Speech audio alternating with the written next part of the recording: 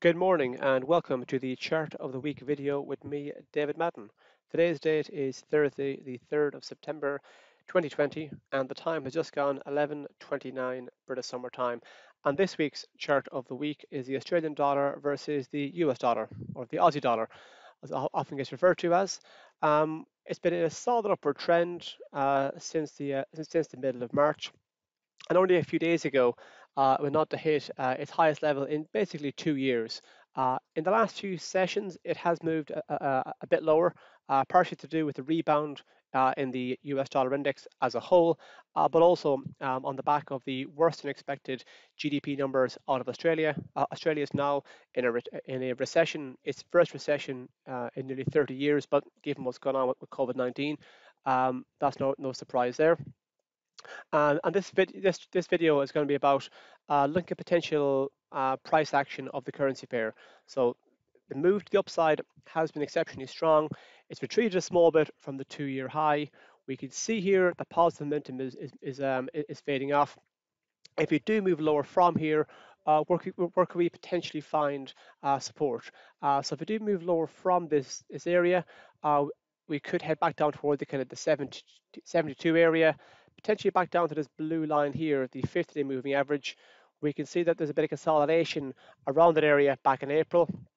Also, if you look at the level of the 50 52-day 50-day moving average, uh, it comes into play in around zero spot 7113, which is kind of around the bouts, there thereabouts. That zone uh, acted as support uh, in early August, and if a few metrics kind of overlap uh, or a few pri um, price points overlap, that makes it more significant because some people will be looking out for the recent lows, uh, other people will be looking out um, for the moving for, for, for, moving averages. So that area as a whole uh, could act as support, and even if you go below that, um, we could head back down towards the kind of towards the kind of big number of zero spot 70.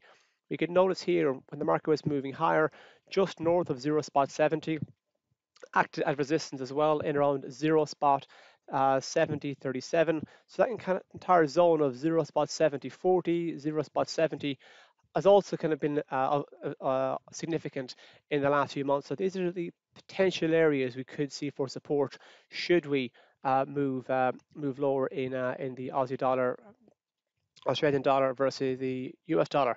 Um, if you do move to the upside and if the wider trend continues, and if you take out the recent highs of just north of 0 spot 74, we could find ourselves heading back up, um, heading back up towards 0 spot 74, 78. Apologies, yes, 0 spot 74, 78, which is this zone here. It's kind of, it acted as both support uh, in March 2018, and also that area, broadly speaking, acted as resistance on a few occasions uh, in, Jul in, um, in July uh, 2018. So that area was, a, was fairly significant uh, over two years ago, so it could be of significance in the near term. Like I said, um, the, the wider trend is to the upside. So although we are seeing some signs of some uh, bearish moves in the last few sessions, you know, this could be a case of uh, we have a pullback towards 0 spot 72 or to the 50-day moving average or even down to 0 spot 70 before resuming the wider upward trend that's been in place for the last number of months. We can't ignore the wider picture. Now, if you are going to be trading um, the Australian dollar versus the US dollar or, any dollar crosses, keep an eye out for what's going on on the US dollar index. This is the dollar index here, of the September contract. I've um, on a daily chart. I've already circled and highlighted uh, Tuesday's daily candle, which, which has the potential to be a hammer formation, whereby it fell to a 28-month low, but it rebounded from there. It's been pushing higher since. So this could be the beginning of a turnaround in the US dollar. And if that is the case, uh, that could see downward pressure on the Australian dollar versus the US dollar. Um, keep an eye out for this area here, the zero spot, the 94 metric on the dollar index chart, just because there's been a few occasions in the past few months, when the past month or so, when the dollar index tried to break, tried to rebound and kind of shake off the wider negative trend, uh, but it's always failed. So if we do have a break above 94, that could be that could be an indication that you know what, the bearish trend in the dollar is potentially coming to an end. And if that is the case, that could mean further pressure um, on the Australian dollar versus the US dollar.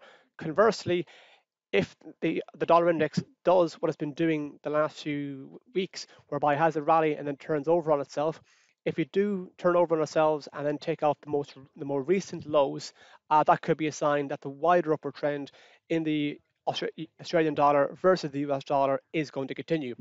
Um, also, just worth noting, today at 13.30 British Summer Time, we have some important uh, data of the US. We have the jobless claims number, and tomorrow we have the all-important non-farm payrolls report. Uh, in fact, I'm hosting a live webinar tomorrow, so that, that's Friday, the 4th of September at 13.15 British Summer Time. I'll be covering a webinar for that, so please feel free to sign up. Thank you for listening. Stay safe, have a good trading week, and good luck.